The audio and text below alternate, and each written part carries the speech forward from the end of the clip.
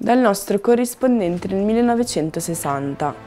Sormano, Giro di Lombardia, al primo passaggio dal muro, dopo aver superato il passo del Ghisallo, Imerio Massignan è stato il primo ciclista ad averlo scalato senza mettere il piede a terra dopo aver percorso il tratto di salita alla media di 13 km orari. Passo ora la parola a Paolo Ceruti per i commenti in redazione. Grazie Monica. Cari amiche e amici, questa sera parliamo di sport e più precisamente del muro di Sormano. Imerio Massignan, scalatore puro, era soprannato gamba secca per la caratteristica pedalata dovuta alla gamba più corta dell'altra.